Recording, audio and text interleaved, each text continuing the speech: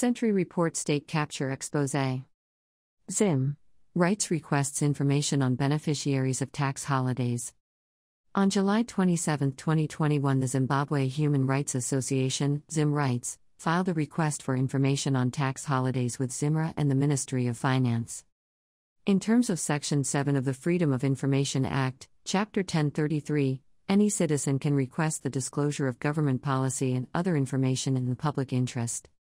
The law requires that every public entity, public commercial entity, or holder of a statutory office shall have a written information disclosure policy, through which it discloses information in the interests of public accountability, or that is required for the exercise or protection of a right. Zim Rights is convinced that both or one of them, ZIMRA or Slash, and the Ministry of Finance, are the custodians of information relating to the granting of tax holidays to certain corporates.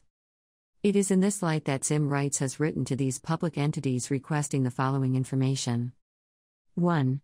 A written information disclosure policy in terms of Section 5 of the Freedom of Information Act, if any, and 2.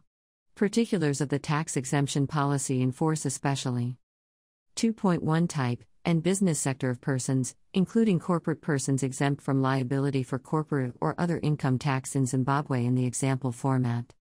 Great Dyke Investments, private, limited platinum mining joint venture exempt via SI 26 of 2021 effective from 1st of January 2020. 2.2 The criteria in use to assess eligibility for granting of tax exemption to corporate entities for the period 2019 to date. 2.3 If there is a register of tax exempt corporate entities or individuals, resident shareholders tax payable on dividends.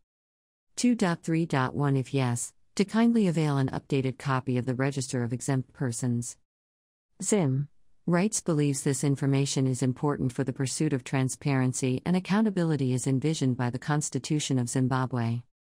On July 1, 2021, a U.S. based group, The Sentry, published a report Shadows and Shell Games Uncovering an Offshore Business Empire which exposed potentially corrupt practices by government officials.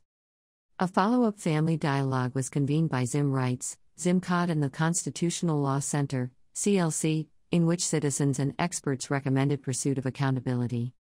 Section 194 of the Constitution of Zimbabwe obliges the government to foster transparency by providing the public with timely, accessible, and accurate information. The government and all its agencies are duty bound to keep the public informed.